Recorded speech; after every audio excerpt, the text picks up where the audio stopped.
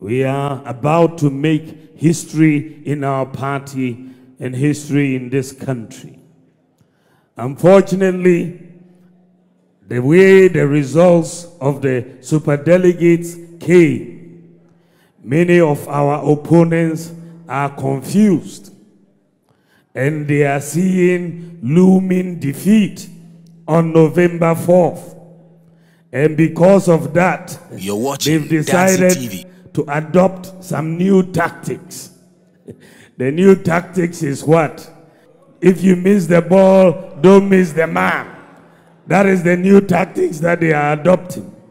And so, what is the tactics? They have decided to spread lies and to bring disunity amongst us and to create problems between chairmen and constituency executives with polling station executives and electoral area coordinators. They want to knock our heads together.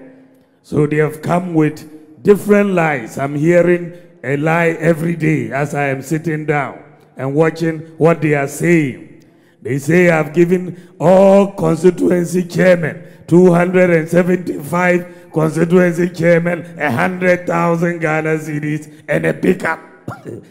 Have you seen any pickup here for your chairman? Chairman, this gets a ridiculous lie. Then they say, I will not allow in future polling station executives and electoral area coordinators to vote in the presidential elections. I mean, how can this happen? It's not possible for me to stop polling station executives and electoral area coordinators from voting. This was a national conference decision, and I was very supportive of expanding the electoral college to allow polling station executives and electoral area coordinators to vote. And by the grace of God, they will continue to vote. They will continue to vote. What I want to do is actually push for a new reform to allow electoral area coordinators to vote in the election of regional executives.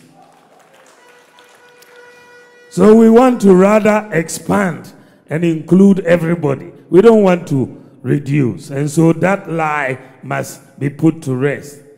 The third lie that I have heard this morning is that I want to say that all sitting MPs should go unopposed, that nobody should contest a sitting MP.